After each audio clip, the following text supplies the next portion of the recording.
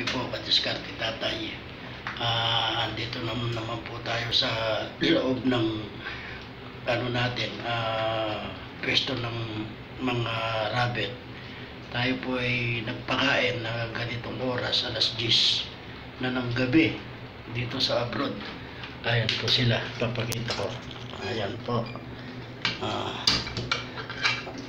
tuwa po sila, busog na naman ang mga alaga natin. Ayan po. Ah, busog na busog na naman yung mga alaga nating kuneho. Ah, ayan po, malulusog sila. Ah, ayan po. Ah, ang alaga natin. Mm, para hindi po tayo mainip kasi sa totoo lang po nito ah tayo po ay exit na. Ah bali naghihintay na lang po tayo ng schedule. May ticket na po. Kaso nga lang po itong July 13 na cancel po yung flight ng Philippine Airlines.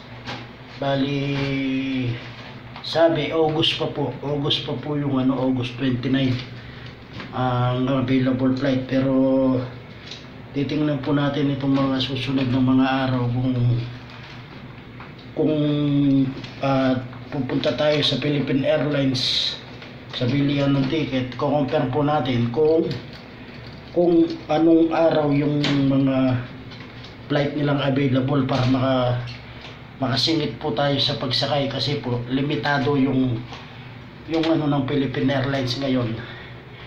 Yung sa pag-uwi po limit po sila.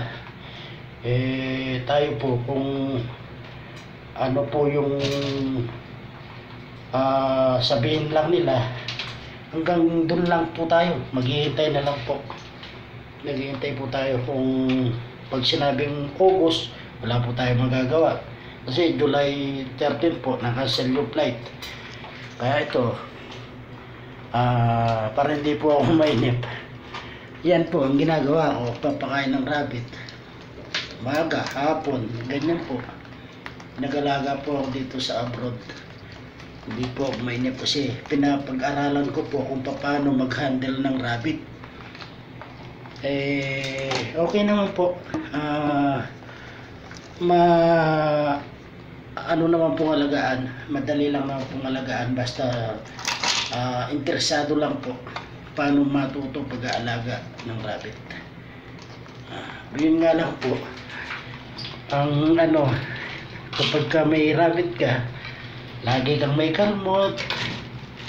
Lagi kang may kalmot kasi kagaya niyan makulit. Makulit na siya. Oh, isang buwan na po ito. Noong 13 yan noong at 13 anim po silang magkakapatid madali lang pong alagaan ng rabbit basta ano po tanong-tanong lang po sa may sa mga may experience na. Kasi dati pag meron po akong hindi alam nanonood lang po ako ng YouTube. Ah, disclaimer lang po.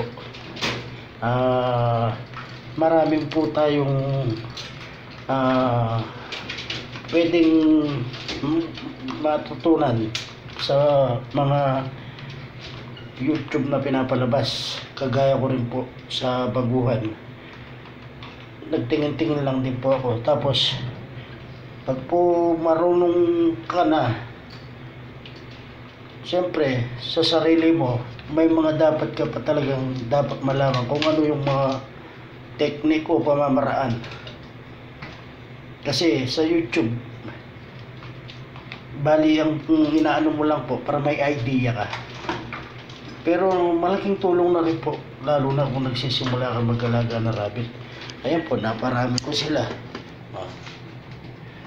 pero meron din po tayo sa Pilipinas ng rabbit kaya dito pinag-aralan ko kung paano mag-alaga ng rabbit para at least kung pag-uwi ko hindi na po ako mahihirapan. Ang nagmamanage po doon yung anak ko may rabbit po tayo sa Pilipinas may kambing may manok na native mga Rhode Island Red at saka Black Astro Astrolot yun po. Ang po nag-incubate po tayo ng itlog. Balang araw ah, sana kung lulubin. Ah, may papakita ko rin po sa inyo yung mga alaga namin sa bahay. Ang nag-aalaga po doon ay si Kadiskarte Vlog anak ko po yun. May channel po siya Kadiskarte Vlog. Ah, ang kukulit po nila oh. ang babait. Ang babait nila. Kahit na ako'y salita ng salita nagpapapansin sila. Ang dami ko na pong kalmot sa tiyan. Nagpapapansin sila. O ganito lang po. Ah, maraming salamat po. At saka sa nag-subscribe. Ah malaking tulong na rin po at mapadambay sa channel ko. Ah baka pwede naman pong click lang yung bell at para lagi kang updated at ma-notify ka sa mga ah, susunod na video. Maraming salamat po. At saka sa mga silent vi- viewers dyan na kahit hindi ko kakilala napadaan yung channel ko malaking tulong na po yun. At saka pakisubscribe na lang po. Maraming salamat po. Ang makulit na oh